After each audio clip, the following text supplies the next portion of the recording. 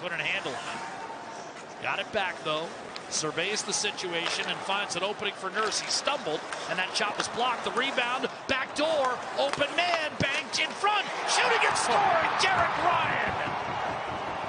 And the fourth line makes the most of a prolonged shift. But you're right. Dogged work in the offensive zone. This is where Edmonton is creating their chances, and they stay in the hunt here. This one gets through, a little bit of a knuckler. One chance gets stopped. The second opportunity